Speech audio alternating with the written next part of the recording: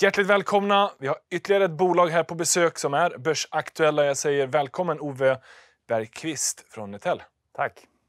Eh, så här, Netel är på väg in till börsen, men som eh, sparare, potentiell investerare, vill man ju gärna veta vad är bakgrunden till Netel? Eh, bakgrunden till Netel är Peab. Så vi startade inom Peab då för ja, 20, år 2000. Och då, den första uppgiften var att bygga 3G. Så vi var en del i 3G-utrullningen då. Ah, just det. Och sen avknoppades man från Peab och har drivit som privatbolag. Ja, sen gick det några år, så 2010 så, så köpte management ut bolaget då från Peab. Ja. Och sen eh, 2016 så, så tog IK över som, som huvudägare. Ah, okay. Och ofta lägger man kanske beskrivningen på er som en eh, fullservice-leverantör av infrastrukturnätverk. Ja. Är, är det en bra beskrivning? Ja, det där har ju expanderat över tiden. då. Så att, eh, 2010 så var det fortfarande mycket telekom. Då. Och vi omsatte eh, ungefär 300 miljoner. Och nu är det 2,3 miljarder. Då. Så att vi har ju snittat 22 procent om året då, sedan dess. Och då är det naturligtvis en expansion, både geografiskt och segmentsmässigt. Och det har varit men både organisk tillväxt men också förvärvad. Eh, För, för det är så här, Ja. Någonstans som vi ska förklara bolaget så är det ju, ni bygger telenätverk, ni bygger eh, elnätverk, ni bygger fiber. Ja. Den typen av tjänster levererar Ja, men vi får inte glömma att vi servar dem. Så det är mycket Ah. service och underhåll. Så det är både och. Men absolut, vi bygger mycket. Ja. Så det är då till exempel så är det 5G-näten nu. Superstarka trender. Det händer ju nu, det har precis börjat. Vi bygger elnäten sedan fyra år tillbaka. Och stationerna. Så det är lokalnät, regionalnät och stationer upp till 130 kilovolt. Och där är ju jättestora backloggar på investeringarna. Jag tänkte säga, som investerare börjar det vattnas i munnen lite här nu. För det vet ju att 5G kommer ju rulla ut och det kommer ju... Det ska byggas både i Sverige och i Norden och ja, överallt. Och sen el... Man pratar ju om elbristen och vi, kan inte, vi har inte kapacitet nog i Sverige. Det här måste ju vara jättemycket medvind för er, eller? Hinner ni med allting? Ja, ja. Nej, nej, det är ju prioriteringsfrågor. Så man får prioritera segment, man får prioritera delsegment och så får man prioritera länder. Då. Så vi har ju valt som nästa stora land så har vi valt Tyskland. Då. Och där bygger vi framförallt fiber. Så vi har tagit de som en gång i tiden byggde fiber i Sverige, de bygger nu fiber i Tyskland. Och där bygger vi åt stora kunder som, eh, som Deutsche Telekom och E.ON och sådär. Så det, det är full, fullt ös i Tyskland. Men, men som svensk så tänker man så här, alla har väl fiber idag? Men så är det inte i Tyskland, eller? I Tyskland, i Sverige har 93% penetration ungefär, alltså n- närhet till fiber. Motsvarande siffra i Tyskland är 11 procent. Så de är, ligger jättelångt efter. Och, och Tyskland är tio gånger större, så att eh, projekten är tio gånger större. Så, men omsättningsmässigt idag då och kanske framåt, det kommer att vara rätt mycket Tyskland. Det, det blir en viktig marknad för er. Nej, idag är det en mindre del. Då.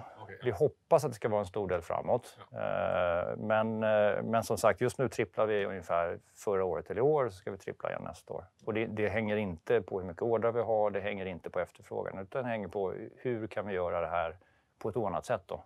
Och se till att tjäna mycket pengar. För Tyskland är just nu vår lönsammaste marknad och det där är ju jätteviktigt eh, för framtiden. Ja, men förklara gärna lite affärsmodellen. Ni Mm. bygger ju och ni servar, men när ni bygger, det är inte så mycket egen personal utan ni lejer ut det till underleverantörer, eller? Ja, om, jag, om jag backar ett steg så vi, vi, vi tjänar forma 2020 ungefär 7 7,7 procent. Och det där är jättehögt i vår business. Då. Ja, Så vi, typ rörelsemarginal. Ja, så vi ligger högt och vi har alltid legat högt i upp och nedgång jämfört med konkurrenterna. Då. Och det beror på att vi har gjort det här lite annorlunda. Då. Så, så vi levererar turnkey, vi levererar hela projekt. Kunderna, vi, vi, vi tar ett projekt och vi bygger det. Så vi gör projektering och vi gör tillstånd. Men när det kommer till själva byggnationen då, så köper vi ofta den lokalt. Eller tar in resurser utifrån. Och det gör att vi blir väldigt flexibla. Då. Så vi kan gå upp och ner i kapacitet, vi kan flytta oss geografiskt. Då. Och där har vi lyckats då hålla marginalerna. Och de anställda, ni har 2000 anställda ungefär, det är ju mycket då... 600 Ah, 600? Okej, Ja. okej. Men vi kanske under högsäsong sysselsätter 2-3 tusen personer. Ah, okej, därav. Eh, men, men servicesidan då, där är det mycket egen personal? Där är det mer egen personal. Så om du till exempel tar till exempel Telias kabel-tv-nät i Norge som de har lagt ut till oss då. Den, det, och det, de, Telia köpte Get för några år sedan. De fick med en serviceorganisation. Telia vill inte egen service och då gör vi den servicen. Och det är ett stort nätverk och det är tätt, så där har man eget folk. Ah, okej. Men säg till exempel att, att eh, en stor fastighetsägare kommer till oss och vill byta ut ett fastighetsnät. Då köper vi den tjänsten. Ah, okej. Mm. Så okej, både, både eh, projekte- projekteringen och eh, servicen.